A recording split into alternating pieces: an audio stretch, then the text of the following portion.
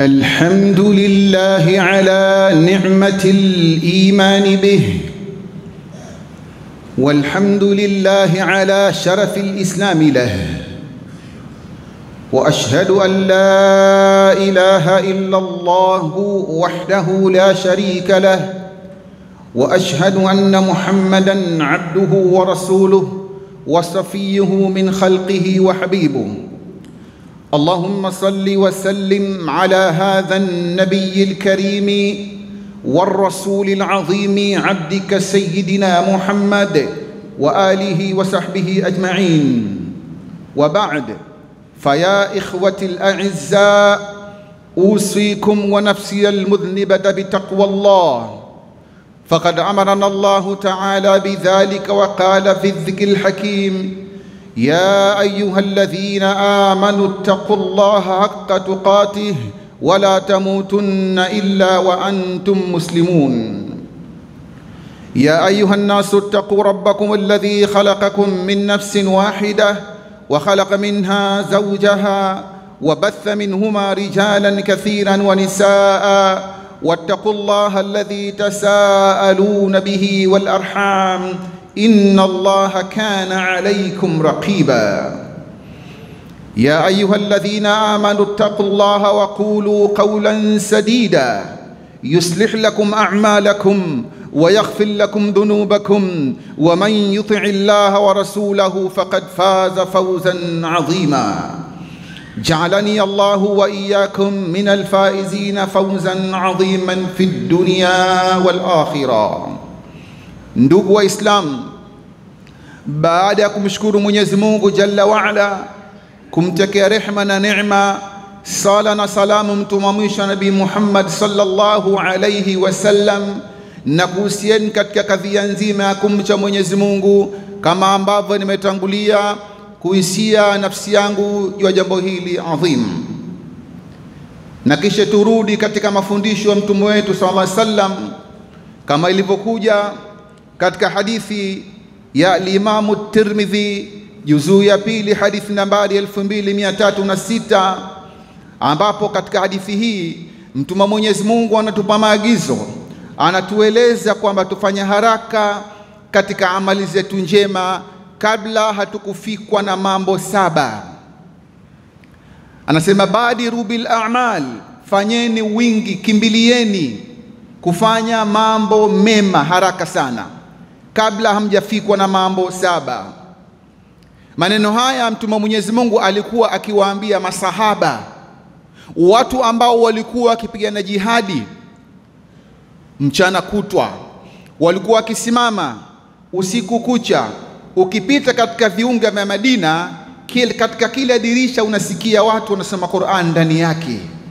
Mtume aliwaambia maneno haya watu ambao ukipita mpaka kuna kipindi fulani ilibidi bwana mtume anakwenda msikitini kapita katika dirisha la Sayyidina Abu Musa al-Ash'ari radhiyallahu anhu, akasikia Qur'an ndani nasomwa vizuri. Mtume Mwenyezi Mungu kabidi kwamba asimame atulie, asikilize kwanza ataladhadh namna gani Abu Musa anaposema Qur'an, na akaja kumwambia nimepita kwako, nimesikia unaposoma mashallah. Abu Musa akamwambia ya Rasulullah, ningekuwa ninajua unasikiliza basi ningesoma vizuri zaidi ukanipasisha mwalimu wangu.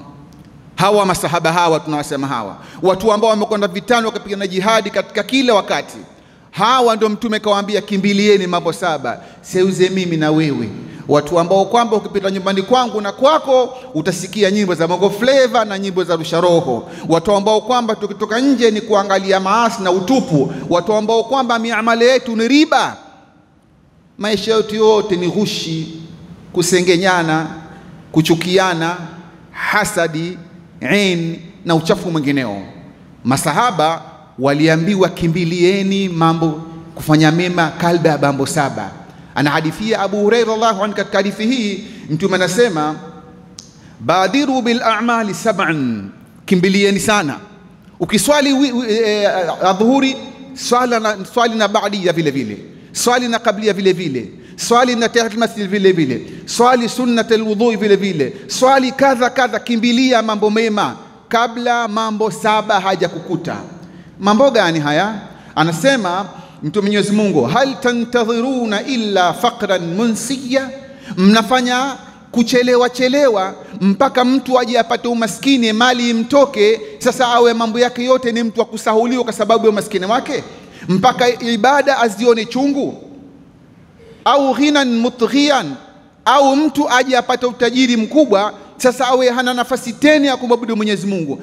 Anataka kusoma Qur'an, nafasi hana, hisabu tunamsubiri, TRA umemfuata, mzigo umeshakuja, kontena halijatolewa, kashughulishwa na biashara moja kwa moja, hana nafasi. Wataka haya ya kufike. Hili la pili. La tatu, Mtume akasema au maradhan mufsidan, au watakampata uje upate maradhi ya ghafla yamekuletea, yamefsidi mwili wako sasa huwezi tena, ukitaka kurukuu unaashiria kwa mikono, huwezi kufika katika kurukuu. Ukitaka kwenda sijida, ukifika chini huwezi kurudi tena juu. Watu wanaswali usiku, unatamani, huwezi tena. Watakwenda msikitini alfajiri, huwezi, miguu inakataa, macho hayakubali tena.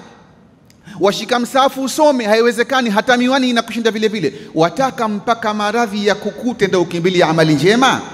Jambo la tatu, Mtume akasema. Jambo la nne, au haraman munfidan au utu uzima, wataka mpaka uwe mtu mzima, watu tena wawe ha, jamani, mzee kasema mchukulieni, jamani, leo hajala, leo kadha, anatamani aswali, hawezi kwa sababu viungo vyote vimeshakataa, mgongo ushapinda, nywele zimekuwa nyeupe, macho yashafeli, pengine hapa sasa hivi sukari hatumii wala chumvi hatumii, na mafuta vile vile anayeepuka, anakula chakula kama mnyama, hatii chumvi, sukari wala, wala pilipili, kwa sababu daktari kamzuia. una unachelewa kufanya amali njema, wasubiri utu uzima huu kufike. Jambo la tano Mtume akasema, au mautan mujhiza, au wasubiri yaje mauti ya ghafla, halafu seme nini? ya laitani rabbi rjiuni la'alli a'malu salihan fima taraktu, e Mwenyezi Mungu nirudishe, mambo mengi nimeyapanga niyafanye, lakini sikuyafanya, nirudishe Mwenyezi Mungu, nikifika kule nitafanya kadha kadha kadha. Wataka kama hivi kufike. Jambo la sita Mtume akasema au dajjal fasharrun ghaibun yuntadhar, au nataka mpaka aje masihi dajjal, aje afitinishe watu, awatie watu katika ukafiri. Hapa sasa useme kwamba Mwenyezi Mungu yule kiumbe alikuwa anahuisha, anafisha, mimi kanibabaisha, nimeshindwa kujua haki. Wataka mpaka ifike hivi? Mtume akasema tena, au saa, au wataka kifike kiama ndio ufanye ibada, au saatu fasaatu atha wa amar. Mtume akasema saa, yani kiama ni jambo kubwa mno na ni chungu. Kiama ni kichungu, unataka mpaka kiama ifiki ndio fanye ibada. Haya mambo saba, ndugu zangu, katika Mtume katika hadithi akataja, sisi tutachukua moja tu ili lusaidie, kwa sababu ya hali halisi ambayo tuliokuwa nayo. Ndugu zangu, katika kipindi tunachoishi yamedhihiri mauti ya ghafla, watu wanakufa ghafla kama, kama, kama maskara tu. Leo mtu unaswali naye unaambua magharibi kafariki na Isha kishazikwa. Mwingine kenda kumtizama kum, mgonjwa karudi, yeye ndo kaja kuzikwa, mgonjwa uko hospitali bado. Kijana wetu mmoja juzi anakwenda airport, na hii ni waki imetokea kabisa, anakwenda kumuaga baba yake airport, kafika katikati ya njia kapata ajali, inna lillahi wa inna ilaihi kenda kazikwa. Mwingine anacheza mpira kajikwaa, kapigwa ile faulu, karuka chini, karuka juu, kufika chini, moyo umesimama, kafa. Mwingine atembea katikati ya njia tumemwona kwa macho yetu mtaa Samora pale katikati ya njia, ah, ah, ah, kakaa kitako chini, kapepewa dakika tatu, kazike, habari imekwisha. Haya ndiyo mambo duniani yaliyoenea, mauti ya ghafla. Na wengine ndo siseme katika Palestine, Filistini kule wanauawa kila siku, mtoto mdogo miaka miwili, mwingine miaka mitatu, mwingine miezi tisa, mwingine miezi minane, mwingine miaka mitatu, anauawa kama Mtume alivyosema yule yani vit, vifo vitakuwa vingi. Mtume kasema katika hadithi nyingine, kiasi kwamba yule anayeua hajui kwa nini anaua na anayeuliwa hajui kwa nini anauliwa. Na hii ndio hali yetu. Majeshi wa Kimarekani wanaochukuliwa kupeleka Palestine, wengi hawajui kwa nini tunapigana, hawajui maskini za Mungu. Wanapelekwa kwa sababu dola imeamua, lakini hawajui kwa nini tunapigana. Na wale wanaowaua ambao ni watoto na kina mama, na sasa hivi mpaka sasa wameshakufa watu elfu arobaini mpaka sasa wamekufa watu elfu arobaini wanawake takriban elfu tisa na watoto vile vile wengi vile vile. Yani hali imekuwa ngumu kila pahala. Sikwambii tena watu wanaokufa kwa ajali, nyote ni mashahidi.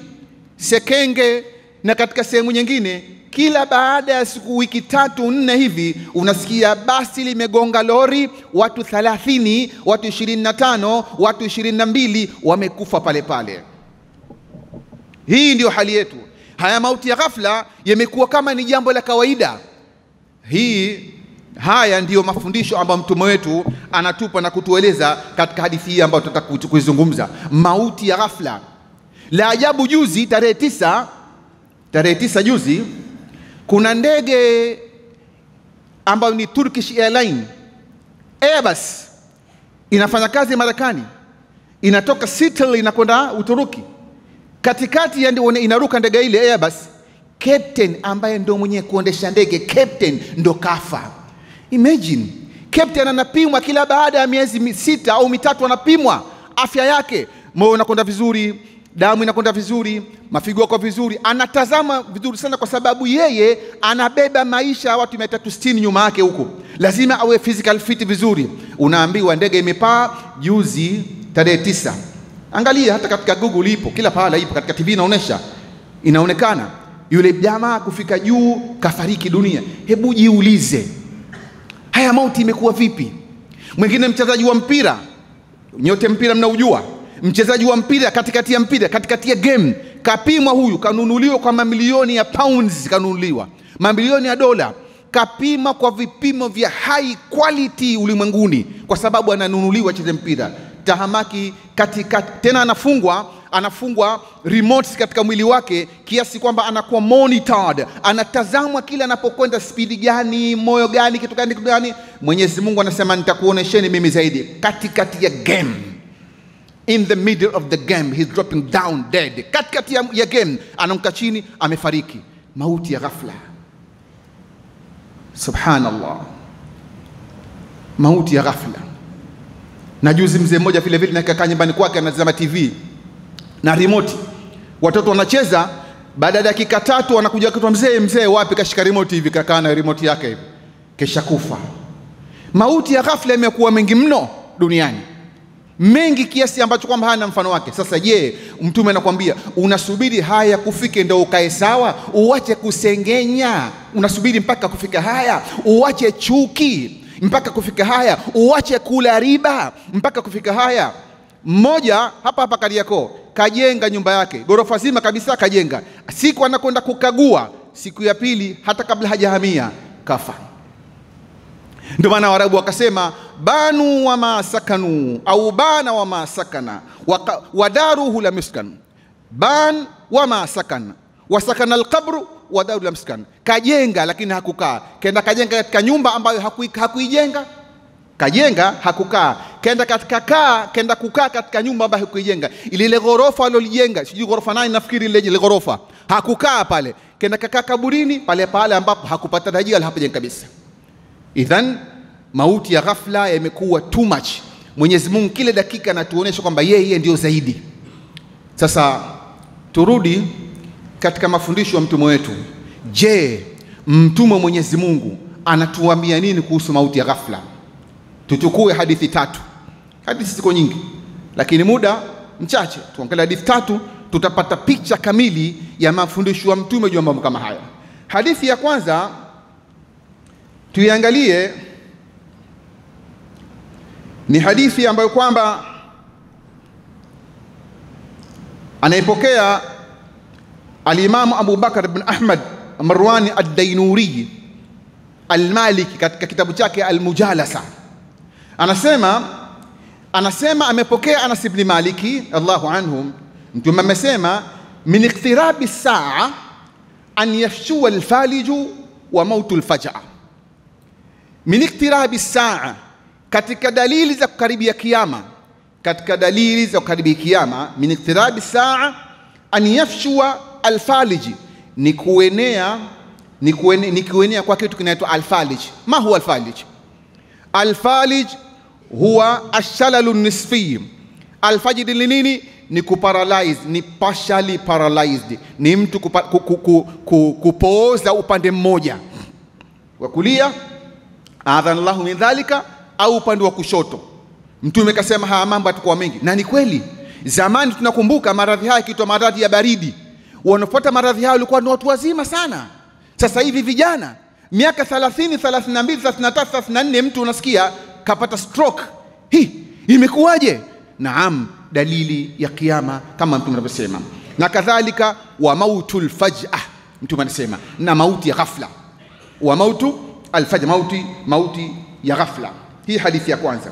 Hadithi ya pili, hadithi ya Imamu Tabrani fi lmujam alawsat walmujam alsaghir, anasema mtume katika kitabu hicho Alimamu Tabrani ya kwamba min alamati saa an yadhhara mautu lfajr, katika dalili za kwamba kiama kiko karibu ni kudhihiri mauti ya ghafla. Kule kasema kue, katika hadithi ya kwanza kasema kuenea, an yafshua, kuenea. Hapa kasema kudhihiri, maanake ni kuwa wazi, kama tunavyoona hivi, tunavyoona ghafla mtu kafa, ghafla mtu kafa, jambo limekuwa wazi, hali, halifichiki. Hadithi ya kwanza kasema kuenea, hadithi ya pili kasema kuwa wazi.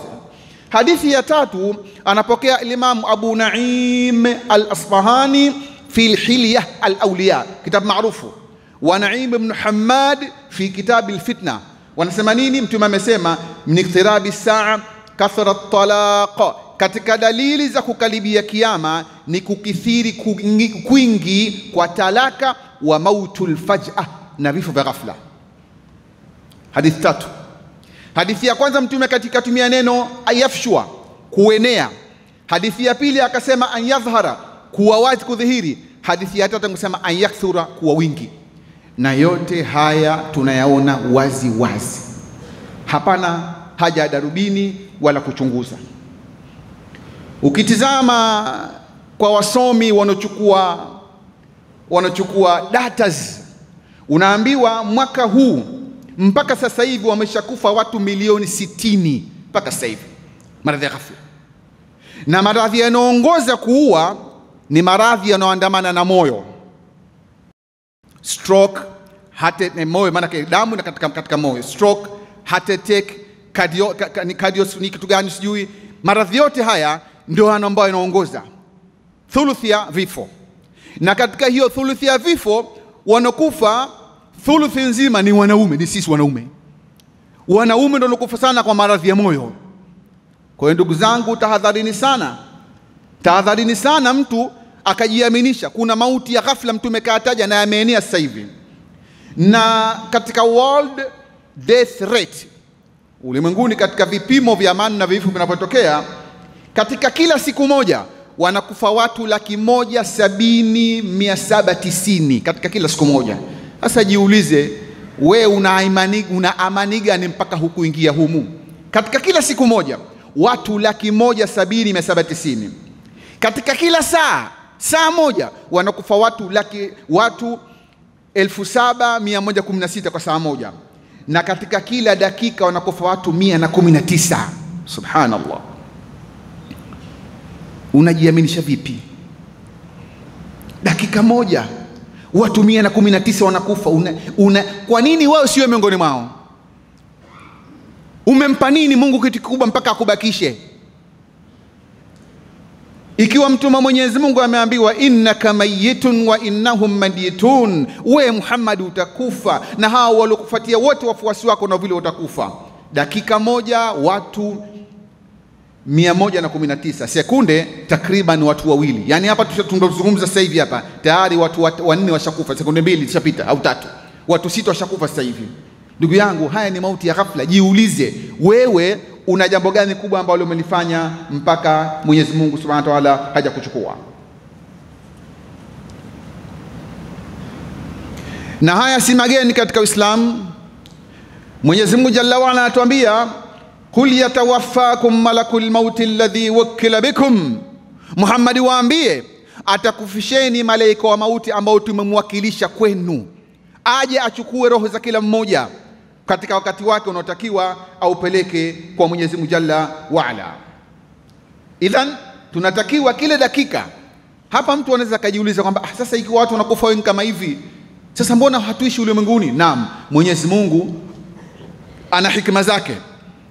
Ukiangalia mwaka jana record na mwaka huu unakuta kwamba kuna 0.98% ya watu kuzaliwa. Kwa hivyo kila wakifa wengi wanazaliwa wengi zaidi, kila wakifa wengi wanazaliwa wengi zaidi, ili Mwenyezi Mungu mpaka siku ya Kiyama idadi yake ile ile litapopigwa baragumu, watu wabaki vile vile Mungu alivyowataka, si kama wanakufa ndio watakuisha, haweshi na wanazaliwa wengi zaidi.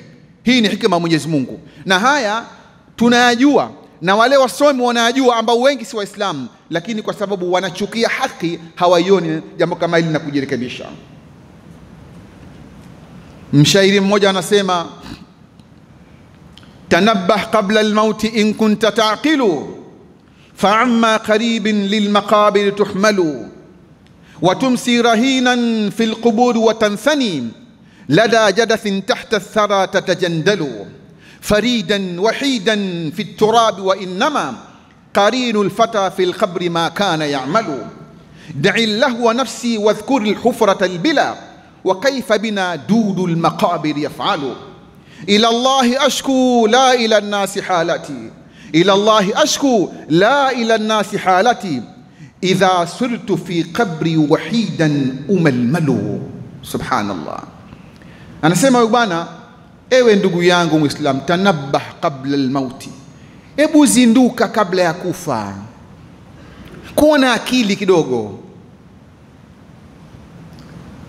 Wengi wanafanya makosa haya, anakwenda kuchukua mkopo wa riba, anajiaminisha atalipa mkopo ule kabla hata hajamaliza kutumia, anakufa. Wanakuja vijana kuchukua, hawana habari ya kulipa, waleni wanayao mengineo, wanajua wao wenyewe jambo lile linamhadikisha mtu kama yule mpaka siku ya kiyama linamzonga. Riba ni haramu. Waislamu wengi wanakula riba na wanajiamini kwamba mimi nitakuwa mzima mpaka nitalipa, alafu nitafanya toba. Nani kakwambia kwamba utakuwa mzima namna hiyo? Tumesema punde hivi kwamba watu wengi wamejenga majumba Kariakoo, wengi kwa kuingia ubia na riba, na riba. Haya mambo ni mchanganyiko. Mtu akifa hapa kabla hajatubu hatakuwa na excuse wala sababu mbele Mwenyezi Mungu, sababu Mwenyezi Mungu alishasema zamani riba ni haramu. Wengi wanakula riba na kwa kutarajia kwamba nitatubu, nitalipa, nikimaliza nitafanya kadha. Kuna mauti ya ghafla Mwenyezi Mungu kayaweka. Tanabbah qabla almauti in kunta taqilu fa amma qaribun lilmaqabir tuhmalu, karibuni karibuni hivi mtabebwa mpeleka makaburini, watumsi rahinan, na kule utafungwa, utakuwa ni kama mtu umekaa rehani, fil quburi wa tanthani, utasubiri amali zako, faridan wahidan, peke yako, lonely fi turabi, chini katika mchanga. Wa innama qarinu lfata, hakika kitochokuwa pamoja na kijana katika kaburi, ma kana yamalu, ni yale alikuwa akiyafanya. In kana khairan fabiha wa ni'ma wa in kana sharran He, ikiwa ya kheri alikuwa akifanya duniani, mashallah, kheri kwake, na kama ni mabaya, huo ni msiba mkubwa kwake. Akasema mwisho, ila llahi ashku hala li, la ila nasi Haya ninasema si kwamba nawashtakia watu, lakini nawazindua hali yangu mimi, namshtaka Mwenyezi Mungu. Idha sirtu, pale nitakapokuwa maiti, fi qabri wahidan umalmalu, napapatika na kugeuza katika kaburi peke yangu. Dai lahwa nafsi wadhkuri hufrat albila, ewe kijana Wacha matamanio ya nafsi, nafsi haitaacha matamanio. Mmoja akasema, ya nafsu tubi fa inna almauta qad hana wasi lhawa falhawa mazala fattana ya nafsu mali walilamwali atrukha khalfi wa akhrij min dunyana uryana likulli yawmin lana maitun nushayi'uhu nuhi bimithlahi athara mautana. Anasema ya nafsi tubi, ewe nafsi, hebu tubia. Fa inna almauta kad hana, mauti yamefika, watu wanakufa kama mchezo. Wasil hawa, napunguza, acha matamanio.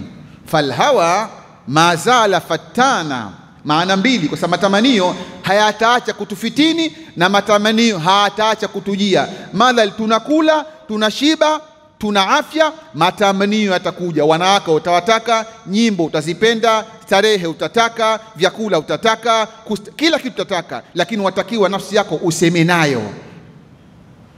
Anasema likulli yaumin lana mait, kila siku tuna maiti, nushayiuhu, tunaisindikiza jeneza kila siku.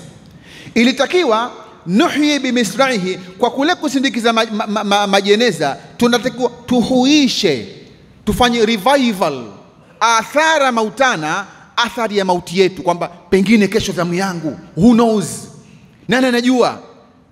Itakuwaje hali yangu, pengine usiku wa leo, pengine pengine pengine. Hivi inavyotakiwa, ilitakiwa unapokana katika ma, ma, ma, maziko utanabahi kwamba hawa waliokuwa hapa walikuwa na mipango mingi ya kufanya huko majumbani kwao, hawakuitekeleza, na mimi mpata nafasi pengine vile vile nisitekeleze, nikaondoka duniani. Kama nina mpango niliofanya wa riba na mengineyo, yatiko haraka niache.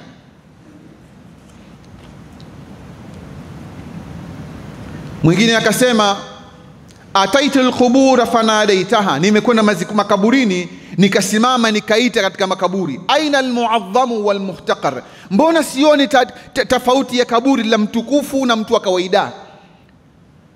Naona wote chini katika ardhi wamefukiwa, wote wanafukiwa, wote wanawekwa bau juu yake, wote wanatiwa mchanga. Mbona sioni tofauti kwamba labda kule chini mwingine akaekwa sofa seti, na betri chaja au akaekiwa na simu yake na? Mbona sioni aina almuadhamu, sioni watukufu walmuhtaqar wa aina almudillu bisultanihi, na yuko wapi yule ambaye anajulikana kwa utukufu wake na uongozi wake? Alikuwa na bendera, labda akitembea, labda akipita, pengine ana, ana wafuasi wanamfuata nyuma, wanne watano, wapambe wa mjini wanaitwa sasa, wanaitwa chawa, wakimfuata. Wako wapi wale? wa aina alqawiyu, nani mwenye maguvu? ala ma qadar, wako wapi watu kama hawa? Tafanau jamian, wote wamekufa fama mukhbirun, hakuna hata mwenye kuweza kusema. Wamatu jamian, wote wamefariki. Wamata alkhabar, kusha habari yao. Ndugu zangu, mauti ya ghafla ni kitu ambacho kwamba Mwenyezi Mungu amekipanga, atampa yote katika sisi ambaye amtakaye.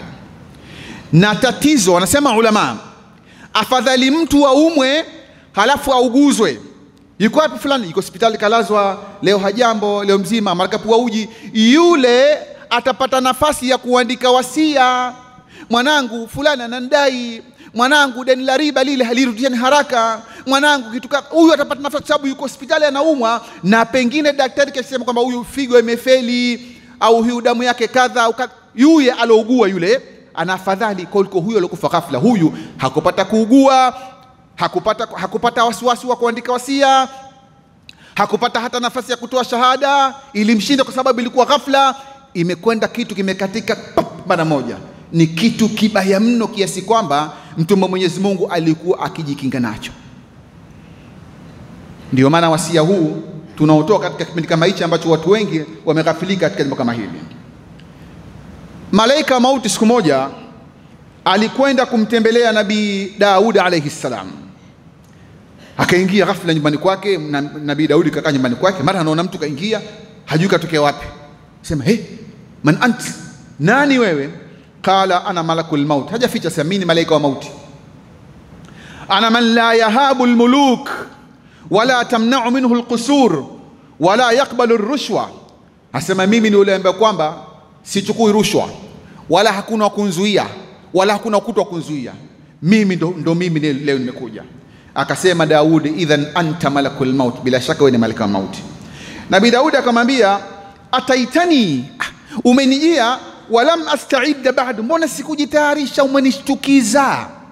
Ndugu zangu, huu ni mtume Daud, katika mtume wa Mwenyezi Mungu, anajua na malakul maut, na mitume anasema na malaika, anamwambia mbona umenifanyia surprise? Kama wanapenda vijana wa sasa. Surprise, anapewa mtu surprise. Watu wengi wanapenda mambo kama haya, surprise ya keki, surprise, surprise ya mambo ya kipumbavu pumbavu. Fanya surprise siku moja kutwa nzima, soma Qur'an juzu 22, surprise hujapata kufanya. Fanya surprise siku moja, simama kucha usiku mmoja, umekuja nyumbani ghafla, vipi leo? Ah, mimi niachieni, vipi? Na surprise na Mwenyezi Mungu wangu leo, na swali kucha mbili mbili mbili mbili mpaka alfajiri, surprise yangu. Fanya surprise Fanya surprise, nenda madrasa kawatafute walimu. Na unatoka wapi? Kivule, nauli yako kiasi elfu moja hii thelathini kila mwezi. Unatoka wapi? Natoka sijui Manambaya, na, na kiasi gani nauli yako? elfu mbili chukua elfu sitini mwezi. Fanya surprise. Hii surprise ya keki, pumbavu. Tayib, anamwambia umenishukizia, hukuniambia kama unakuja. akamwambia na malakul maut akamwambia ya Daud, ewe Daudi we, aina fulani karibuka, rafiki yako fulani yuko wapi? Fulani rafiki yako unamjua? Namjua, yuko wapi? Asema kafa. Na rafiki yako mwingine uliokuwa mkikaa pala fulani yuko wapi? Asema kafa. Na yule rafiki yako mwingine uliokuwa mmesema pamoja yuko wapi? Yule kafa. Yule kwa he mwisho akamwambia e, malakul maut akamwambia sasa, ama kana laka fi haulai ibra, basi wewe hujapata mazingatio kwa ndugu zako waliokufa, litastaidi, mpaka ukajitayarisha. Unasema nimekushtukizia rafiki yako fulani kafa, fulani kafa, fulani kafa, basi hujapata mazingatio kwa waliokutangulia, ukaja kana mimi nitakufa ghafla. Hivi ndugu zangu, ni mauti yanavyokuja.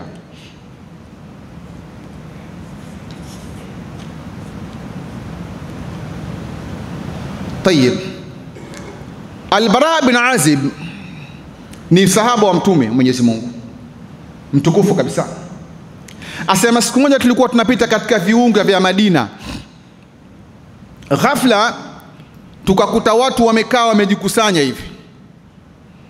Mtume Mwenyezi Mungu akamwambia Albara, kuna nini kule? Albara anasema nikenda nikatazama, nikakuta watu wamejikusanya wanachimba kaburi. Akarudi kwa Mtume akamwambia wale jamaa wanachimba kaburi. Hadithi inasema mtume wa Mwenyezi Mungu fafazia, akashtuka akafadhaika, kashtuka mtume wa Mwenyezi kusikia kaburi, kashtuka akafadhaika. Fafazia. Wabadara baina yadai ashabihi musri'an, akachomoka haraka miongoni mwa masahaba zake, akawatoka, maanake akawatangulia haraka mbio. Fahuwa kana yamshi ma ashabihi bikhutwatin muayyana, alikuwa anakwenda kawaida lakini alipoambiwa kuna kaburi linachimba, fabada akaanza kwenda mbio, yasra, kanda kanda haraka haraka mpaka katika kaburi lile. Akafika pale akachucha, akasaidia kuchimba kwanza, na kisha akachuchama. Baada ya pale, mtume Mwenyezi Mungu akaanza kulia kwa kuliona lile kaburi lilivyo refu, chini kabisa limekwenda, na chini kuna chemba inaitwa mwana wa ndani hiyo ndio sehemu yako bwana mkubwa mtukufu, wewe uliokuwa hata utaki mchanga ukuguse. Handsome boy, beautiful girl, cute, bi mkubwa usiyegusika, miss fulani, huko ndio unakwenda kutokomezwa na ndugu zako na pengine wanao, hasa katika mwanaandani kule. Mtume alivyoona vile akaanza kulia, akalia Mtume. Masahaba anasema mpaka machozi yakarowesha chini pale alipokuwa kakaa. Subhanallah, Mtume wa Mwenyezi Mungu analia kwa kaburi, wala hamjua aliyekufa, lakini hali nzito ambayo ikaikuta pale ikamfanya alie. Baada ya pale, Mtume wa Mwenyezi Mungu akainuka akawaambia masahaba walikuwa wamemzunguka ya ikhwani, enyi ndugu zangu, limithli hadha limithli hadha alyawm fa'idu, kila mmoja katika nyinyi ajitayarishe kuikabili siku kama hii ya leo. Haya ndio maagizo ya Mtume, limithli hadha alyawm fa'idu, kila mmoja katika nyinyi ajitayarishe kuikabili siku hii ya leo. Sasa mtihani tuliokuwa nao sisi ni kwamba kuna ghafla, kuna mauti ya ghafla. Huo mtihani hujui unakuja lini, pengine kesho pengine kesho kutwa, pengine baada ya dakika chache, hutojua kinachotokea. Kila mmoja katika sisi atambue kwamba iko siku ataingia nyumbani kwake na hataweza kutoka, atatolewa. Iko siku atalala katika kitanda chake na hataweza kuamka, atainuliwa. Iko siku atakoga mwenyewe, avae nguo, baada ya hapo hataweza kukoga tena atakogeshwa. Iko siku atavuliwa nguo na atavishwa nguo nyingine. Hili ni jambo la kulizingatia, si jambo la kudharau kabisa. Mbaya zaidi, hatujui lini, pengine kesho, pengine kesho kutwa. Anasema mshair, kullu na kullu na'in fasayun'a kullu bakin fasayubka kullu madkhurin sayafna kullu madhkurin sayunsa laysa ghayra Allah yabqa man ala fallahu a'la. Anasema kila kullu na'in, kila mwenye kuomboleza, kenda katika msiba, mjambo, poleni, mekadha basi atambue karibuni watu watakuja kuomboleza msiba wake. Kullu bakin, kila aliyekwenda pahala akakuta rafiki yake, ndugu yake, mzee wake kafariki, akamlilia, atambue kwamba sun, karibuni watu watamlilia yeye. Kullu madhurin safna kullu madhkurin sayunsa, kila mwenye kutaja twaja shekhe fulani, shekhe fulani, ustadhi fulani, mheshimiwa, mzee, baba lao, bingwa, dume, sijui simba, wapi, karibuni tasahauliwa. Walikuwepo waliokuwa wakitajwa wakisema mpaka wao ni Mungu. Wako wapi sasa hivi? Wako wapi sasa hivi? Wamesahauliwa wote, hawako tena. Jitahidi utaposahauliwa usisahaulike katika kitabu cha Mwenyezi Mungu mambo mema mema yawe yanakujia. Fanya amali ambazo kwamba mema yatakuwa yanakujia. Tumalize kwa kutaja baadhi ya watu wema ambao walifikwa na mauti kama haya ya ghafla. Ilikuwa vipi habari zao? Na muda hauchoshi, lakini tutaje japo mmoja, kwa sababu Mtume akasema, akthiru min dhikri hadhimi ladhat, fanyeni wingi wa kutaja jambo hili la mauti. Mtume akasema tufanye wingi. Ilitakiwa kila baada ya hutuba mbili tatu ya nne iwe ya mauti, hutuba mbili tatu ya nne ya mauti, kwa sababu Mtume akasema fanyeni wingi, sio kutaja habari za hija wingi, wala sio habari za, za, za zaka wingi, wala sio habari za, za, za, za Ramadhan. Aa, wingi Mtume akasema katika habari hii ya kifo, kwa sababu hii inamhusu kila mmoja wetu. Hija ni kwa mwenye uwezo, zaka ni kwa mwenye uwezo, Ramadhani ni kwa mzima, tena mtu mzima, mtoto halazimiki. Mengine yote yana, yana, yana, yana sharti zake, lakini kufa hakuna.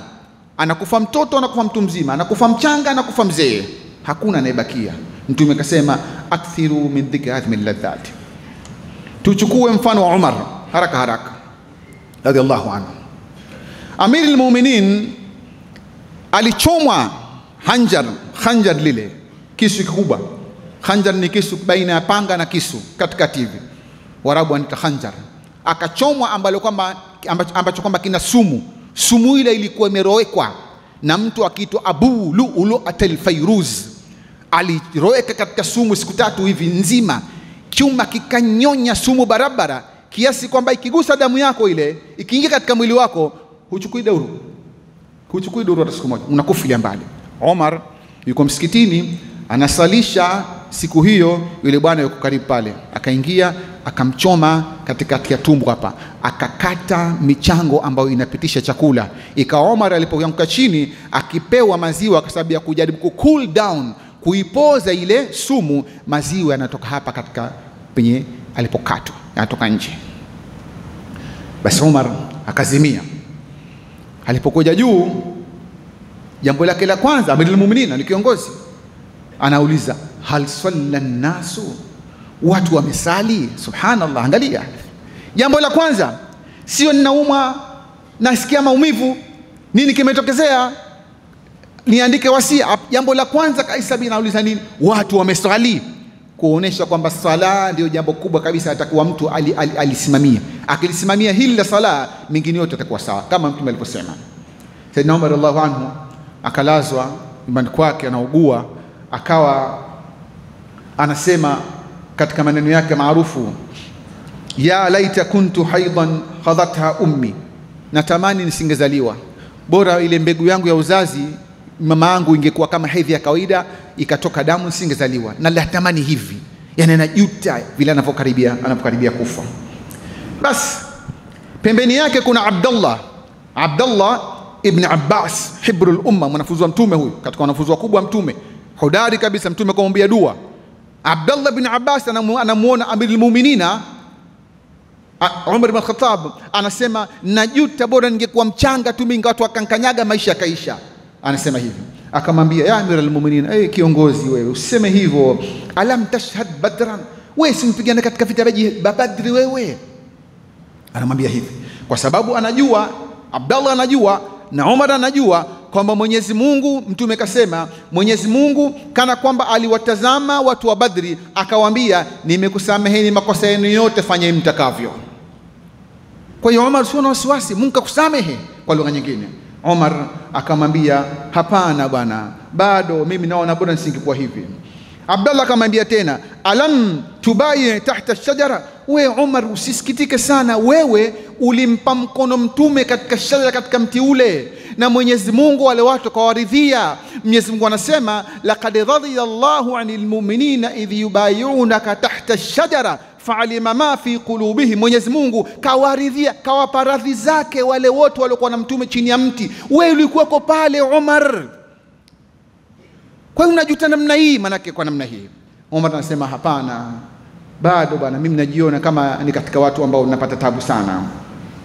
Mwisho Abdallah akamwambia alam yashrasam e Umar, wewe si mtume wa Mwenyezi Mungu kakubashiria pepo? Mtume kuna siku alihisabu mkono wake kama hivi, akasema Abubakar fil janna, Omar fil janna, Ali fil janna, Uthman fil janna, Talha fil janna, Ubaidillahi fil janna, saidi fil janna, Saadi fil janna. Mtume akahesabu watu kumi, akasema watu wako peponi. Omar, wewe umo katika listi ile Siogope, maana anampa moyo yule mtu katika kufa na karibia kufa, anampa moyo Abdallah. Omar akamwambia hapana. Mwisho Omar akasema laallahu laallahu, pengine haya mambo unanitajia ala shartin ine, pengine kuna jambo la sharti lam waqa, mimi sikulifanya. Angalia, watu walikuwa na mtume mpaka dakika ya mwisho hawajipi moyo, wanaiupa upande wa taksiri, upande wa mapungufu katika jambo la kifo. Ndugu zangu, kifo cha ghafla kimekuwa ni kitu cha kawaida sasa. Kila mmoja katika sisi ajitayarishe, ajue kwamba wakati wowote anaweza kaondoka. Kabla sikumaliza na kushuka, niseme jambo moja la ajabu kweli kweli. Hivi karibuni kumetokea tabia za ajabu kweli kweli, za watu wa ajabu kweli kweli. Kivipi basi? Watu wanawake wanakwenda makaburini, ati wanakwenda kuzika Haya mambo wamepata wapi haya? Haya mambo ya wanawake na makaburini wameyapata wapi? Katika Uislamu, wa Dar es Salaam wanajua tangu enzi na enzi hakuna wanawake kwenda mazikoni, kwenda makaburini. Hichi kitu hakuna, na ndio maana ni jambo ambalo halitakiwi. Mmoja katika wanawake anasema nuhina, tumekataza sisi kusindikiza jeneza, tumekatazwa na kipindi fulani mtume aliwakuta wamekaa katika, katika, katika ma, ma, jeneni maziko, akawaambia mnangoja nini? Ah, tunasubiri kuchindika jeneza. Akamwambia ehe, nyie mnabeba jeneza? Hatubebi. Mnasindikiza jeneza? Hatusindikizi. Akaambia ah, rudini, rudini hali ya kuwa mtakuwa mmepata dhambi msiporudi, na mkikaa hamtopata thawabu. Akawarudisha. Leo hii wanapatikana kundi la watu wanakwenda makaburini na vishindo ati wanakwenda kumzika mwenzao. Jambo hili maimamu wengi wameliona ni karaha ambayo haikubaliki. Miongoni mwao Abdallah ibn Mas'udi amesema ni karaha, Abdallah ibn Umar sema haifai, Abu Umama al-Bahili, wote masaba mtume wamesema haifai wanawake kusindikiza kwenda makaburini. Mwingine bibi Aisha itabaka anasema vile haifai, makruhu Masrukh vile vile akasema haifai. Al-Hasan vile vile akasema haifai. An-Nakhai Ibrahim amesema haifai. Al-Imam Al-Auza'i amesema, wako wengi. Al-Imam Ishaq amesema haifai. Hadithi ziko wazi. Huu ni munkar, yatakiwa wenye kusimama katika mambo yale, hasa makaburini, wazuie haraka sana. Wakiona wanakuja wanawake, funga mlango, hakuna ruhusa kuingia. Huu ni munkar, yatakiwa uzuiwe kabla watu hawajafanya jambo la kawaida. Watu siku hizi wanajipa vyeo, wakijiona wao watu wa namna fulani hivi, labda watu wa namna fulani, watu wa klabu fulani, watu wa design fulani hivi, wanajadhania kwamba wanaweza wakafanya jambo ambalo Mwenyezi Mungu haliridhii wala mtume akuliamrisha. La, Uislamu una mipaka yake na sheria yake, lazima ifatwe. Ayuha alikhwa, i'lamu tabaraka taala ya'murukum bi amri bada fi binafsihi وثابت المثبت بقدسه وثلث بكم وقال في الحكيم إن الله وملائكته يصلون على النبي. يا أيها الذين آمنوا صلوا عليه وسلموا تسليما. وارض اللهم عن جميع صحابة رسولك المختار. خصوصا منهم الأربعة الخلفاء أبي بكر وعثمان وعلي برحمتك يا الراحمين اللهم ربنا تقبل منا إنك أنت السميع العليم. وتب علينا يا مولانا إنك أنت التواب الرحيم. ربنا لا تزغ قلوبنا بعد هديتنا. وهب لنا من لدنك رحمة إنك أنت الوهاب. اللهم ارحمنا فإنك بنا رحم ولا تعذبنا فأنت علينا قادر. ألطف فينا فيما جرت به المقادير إنك على كل شيء قدير وبالإجابة الجدير. اللهم في المؤمنين والمؤمنات والمسلمين والمسلمات الأحياء من الأموات. ربنا آتنا في الدنيا حسنة وفي الآخرة حسنة وقنا عذاب النار.